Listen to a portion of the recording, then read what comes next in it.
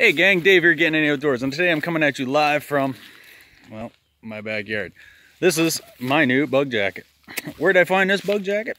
Right on the mean streets of downtown Powassan, Ontario. I'm squishing little bugs as they land on my hands. Uh, I do have another bug jacket and the way it zips up is around the back of my neck and it feels like a toe biter. You guys know what a toe biter is? It feels like one of them right here. So what I did was I was driving through the mean streets of downtown Powassan, Ontario. That is the hometown. And I seen a sign on a window, the original Bug Shirt Company. So I figured, you know what? I'm gonna go give these guys a try because if they're the original, original is usually the best. So I was figured I was just gonna go check it out. So I'm just taking it for a little walk.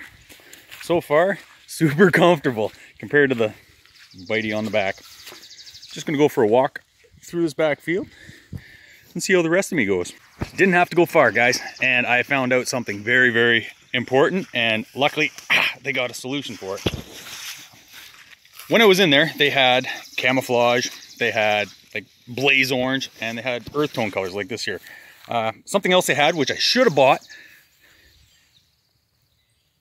Oh, I guess I'm going back for the gaiters and the pants. So stop in, check them out. It's cool. You know, small business, same hometown. So the original bug shirt has that on it. Nice little pocket for the phone, this phone.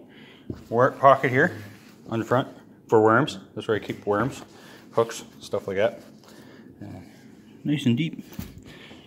And the fact that I am going to keep this, proof that I am to keep it, I'm to stamp it. Glad I didn't get rid of my screen printing stuff.